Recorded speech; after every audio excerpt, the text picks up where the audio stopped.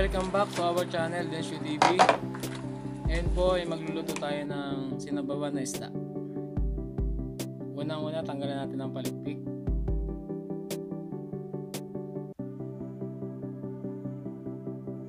Yan.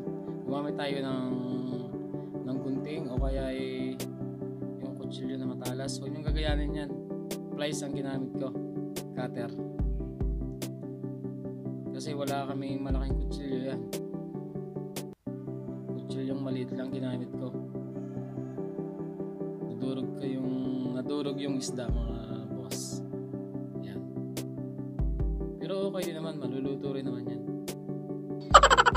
Pero mas maganda kung gagamit kayo ng matalim na na kutsilyo o kaya yung itak.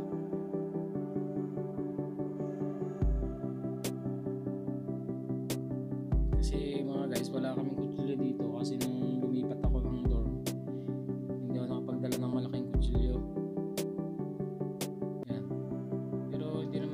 masyadong mahirap magtanggal ng mga palikpik kasi matalim naman yung cutter.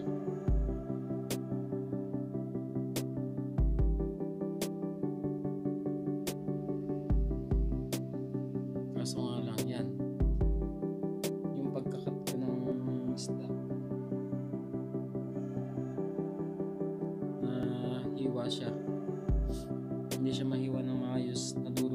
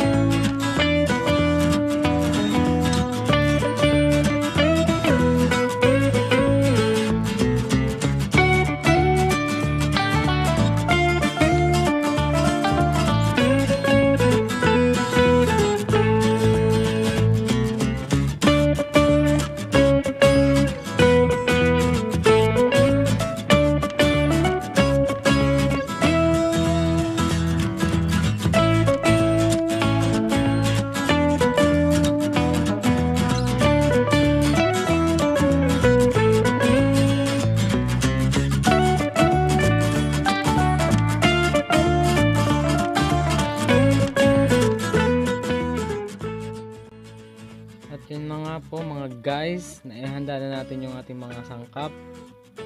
Ngayon, magpapakulo tayo ng tubig. Tapos, ilalagay natin itong mga mga sangkap natin na na-prepare.